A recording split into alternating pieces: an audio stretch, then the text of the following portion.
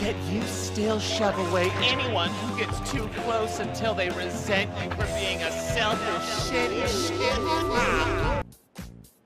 I don't like this at all.